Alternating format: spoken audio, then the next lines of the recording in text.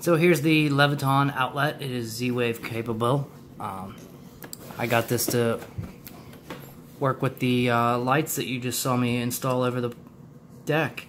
Uh, it works with Wink and SmartThings. I do have both hubs, but I'm going to currently add this to the Wink hub. Um, but before I do, I'm actually going to remove an outlink uh, and put this in its place and put the outlink to control the uh, lights that I installed over the deck due to the fact that I'm having Zigbee issues. So let's open this box up here.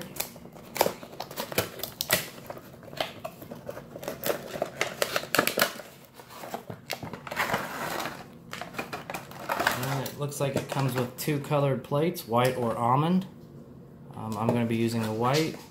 That's really it. You got your uh, ground, neutral, and line wires connect to it.